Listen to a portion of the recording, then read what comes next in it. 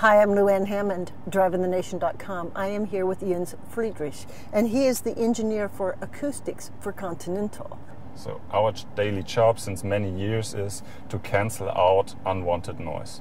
Uh, you can't hear the engine inside the cabin. There is should no uh, squeaking or no buzzing inside the car, and that is our daily job.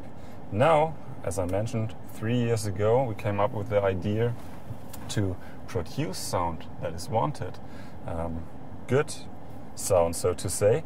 And there we had our musicians in the team who said, let's mimic um, the behavior and the principle of a classical instrument within a car.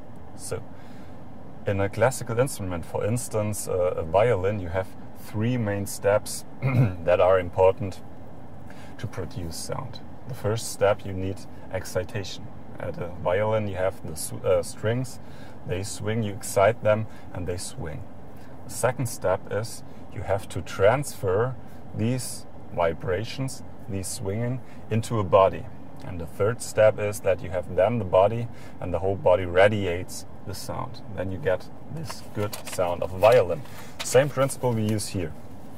We use different materials and different surfaces that are already in the car. So we have sounding surfaces within that car that build up our audio system.